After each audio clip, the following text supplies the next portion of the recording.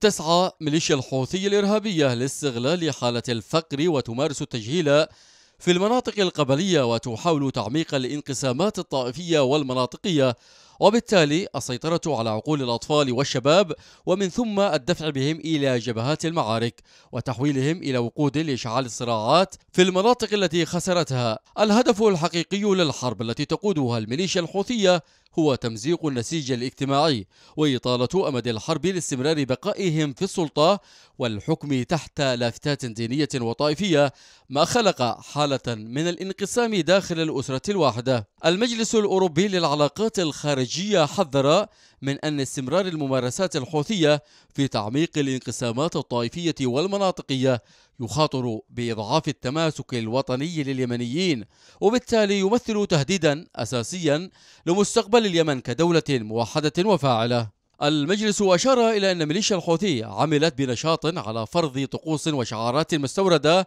من الشيعة الاثني عشرية الإيرانية وفرضها بالقوة على المواطنين اليمنيين في المناطق الخاضعة لهم.